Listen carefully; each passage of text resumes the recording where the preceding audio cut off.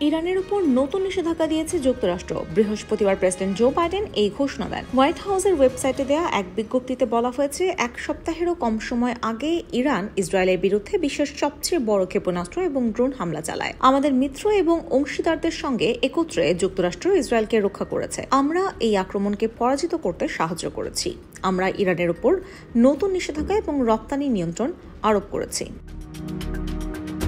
Biden বলেন এই নিষেধাজ্ঞা ইসরায়েলে হামলা করতে সহায়তা করা ইসলামী বিপ্লবী গার্ড কর্পস, ইরানের প্রতিরক্ষা মন্ত্রণালয় এবং ইরান সরকারের ক্ষেপণাস্ত্র ও ড্রোন উৎপাদন কার্যক্রমের সঙ্গে যুক্ত নেতা এবং সংস্থাগুলোকে লক্ষ্য করে দেওয়া হয়েছে। ইরানের মোট ষোলো ব্যক্তি ও দুটি সংস্থার উপর এই নিষেধাজ্ঞা দেওয়া হয়েছে। তিনি বলেন, হামলার পর আমি আমার সহকর্মী জি সেভেন নেতাদের সঙ্গে আলোচনা করেছি। আমরা ইরানের উপর অর্থনৈতিক চাপ বাড়াতে সম্মিলিতভাবে কাজ করতে প্রতিশ্রুতিবদ্ধ।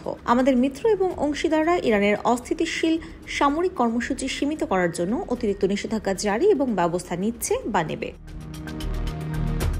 বিজ্ঞপ্তিতে বলা হয়, যারা ইরানের হামলাকে সক্ষম বা সমর্থন করে, তাদের সবার কাছে এটা পরিষ্কার হোক, যুক্তরাষ্ট্র ইসরায়েলের নিরাপত্তার জন্য প্রতিশ্রুতিবদ্ধ। আমরা এই অঞ্চলে আমাদের কর্মীদের এবং অংশীদারদের নিরাপত্তার জন্য প্রতিশ্রুতিবদ্ধ। এদিকে, ইরানের ওপর নতুন নিষেধাজ্ঞা দিয়েছে যুক্তরাজ্য। ইরানের ড্রোন ও ব্যালিস্টিক ক্ষেপণাস্ত্র তৈরির সঙ্গে যুক্ত সামরিক বাহিনী সংশ্লিষ্ট সাত ব্যক্তি এবং ছয়টি সংস্থার ওপর নিষেধাজ্ঞা দিয়েছে দেশটি।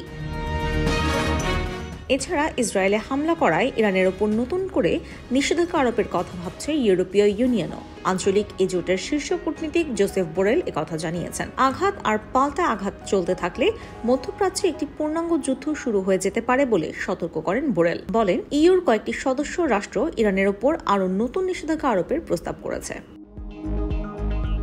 IBTV USA New York.